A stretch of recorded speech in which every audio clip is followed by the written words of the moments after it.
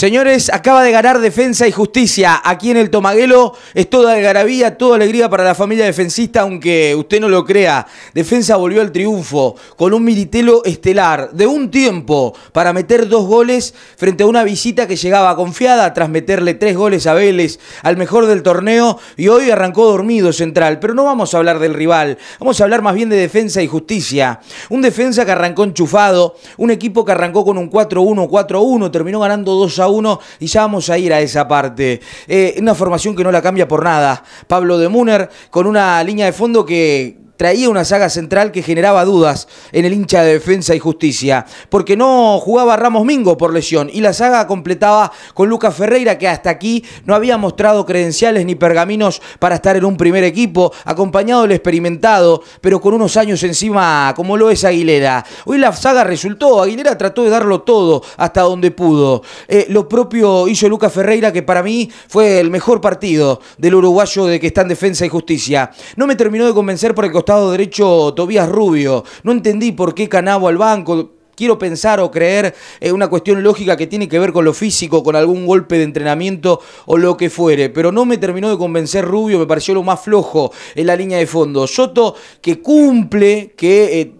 conlleva algunas falencias. Me pareció raro que coma mucho las espaldas Copetti, que busque el sector de Aguilera. Estaba estudiada la defensa del halcón, siempre en offside Copetti. Eh, Malcorra con sus años le comió siempre las espaldas a Rubio, que la pasó mal con Malcorra, la pasó mal con eh, eh, varios jugadores de la visita de Rosario Central. Ya en el medio, el Facha Gutiérrez, delante del Facha en otra línea de cuatro, doble enganche si se quiere, o respaldando el tridente del círculo central, Toti Yamine junto con Aaron Molinas, por izquierda Herrera y por derecha Alanís, arriba solo Miritelo. Eh, Totti Yamini se comió el círculo central. Siempre hablando del primer tiempo, Yamini hizo lo que quiso, lo respaldó al Facha, aparecía por todos lados. Me da la sensación que gracias a Yamine, a Totti, Defensa consigue la ventaja rápida. Defensa consigue ganarle eh, con facilidad en el primer tiempo a Central 2 a 0. Defensa estaba para el tercero. Dos apariciones estelares de Miritelo. Un Miritelo que al fin se le dio el gol. Eh,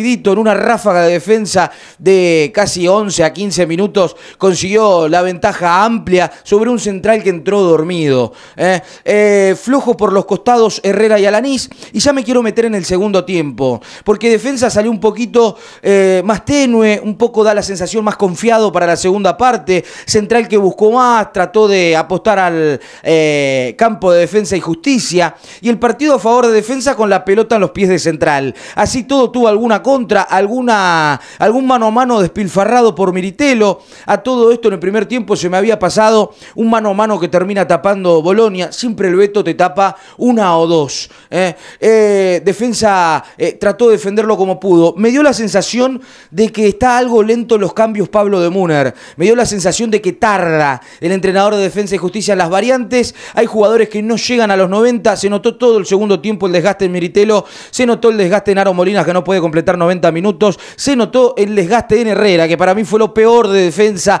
No le salió una, resolvió todas mal, evitó contragolpes buenos de defensa, sobre todo en la primera parte. Jugó los 90 Herrera, increíblemente. Apostando a la lógica, metía a la cancha para vecino el entrenador, tratando de equiparar lo que le faltaba con Aaron Molinas. Poco se logró, lo sacó Totti Yamine, que lo ha dado todo, pero mermó su rendimiento junto con el resto del equipo ya en el segundo tiempo. Salió Miritelo cansado, entró Osorio, entró Julián López. Hay jugadoras que evidentemente tienen que jugar, que evidentemente tienen que estar. Pero defensa estaba destinado a sufrir, porque de tanta pelota parada que le regalaba al rival llega el descuento de Rosario Central a través de Quintana. Un cabezazo, nada que hacer para Bolonia, que en toda no te puede salvar el arquero. El descuento de Central a sufrir. Defensa lo tuvo, pasó de tener para liquidarlo a sufrir hasta el final. Defensa terminó jugando los pelotazos.